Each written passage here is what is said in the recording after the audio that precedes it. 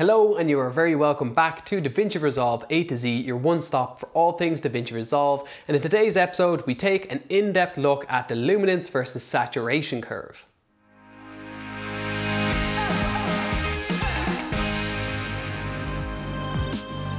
The luminance versus saturation curve, a curve that I use pretty much non-stop. So as always, how do we get to it? You can select the drop down menu and click on it, or you can click through your different curves here until you land on luminance versus saturation. Now what does that mean? And this applies to all the versus curves. The first item is what you're selecting. The second is how you are adjusting it. So basically we're selecting a luminance value and we're going to adjust to the level of saturation of that luminance. So what does that mean in practice? Well, let's take a look at this shot. We've done our primary corrections and then what we did is we added a quick and dirty teal orange look. So let's add another node and now we're going to use the luminance versus saturation to fine tune that teal orange look. On our graph here, left to right is shadow to highlight values.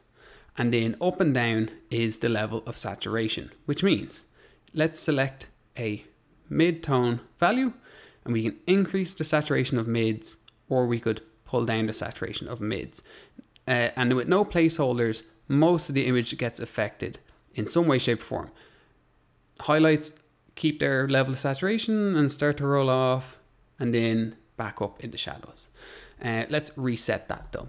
We can use this to do two things. We can increase the oranges and we can decrease the blue in the shadows a bit to make this a bit more of a, a pleasing teal orange look. So what we'll do is let's set a placeholder there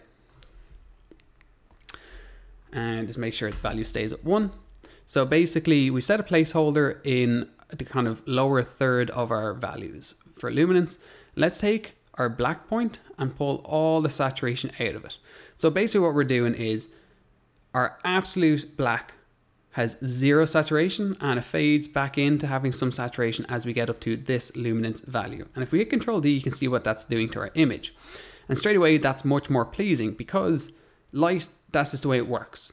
The darker something gets, the less saturation there is because light, uh, black is technically not a color uh, in terms of light. It's an it's an absence of light. It's not a shade of color, so there shouldn't be any saturation in the absolute darkest values. And you could further fine tune that, but for tutorial sake, we can leave it at that because you get the gist of what that does. Now let's look, we did that by placing manually points on the curve here. Let's look at a more precise way of doing things and another way of doing things. With the qualifier tool selected, we will select a luminance value in here and you can see that on our graph we get two placeholders and our actual value. With the actual value selected, let's increase the saturation levels quite extremely so we can kind of expose a problem. Um, you can see that the luminance values selected are very uh, tight in boundary. So what you might want to do then and by jacking up that saturation, you can really see obviously where your problems lie. We can take this value and we can expand it out.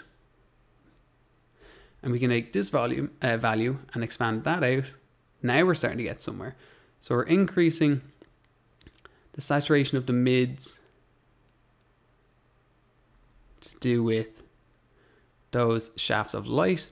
And now we can start reining into saturation. Now that we've kind of figured out you know, where the luminance values of those thing, uh, those items sit, we can start reining in just how much we're increasing those values of saturation so they're not so extreme. And like that, we've taken shadows and made them cleaner. And we've also increased the saturation level of those light rays, increased how orangey they are. And obviously you could go fine tuning that some more, but this is just a quick and dirty look at luminance versus saturation, and that's it in a nutshell. You can take a luminance value and increase or decrease the level of saturation.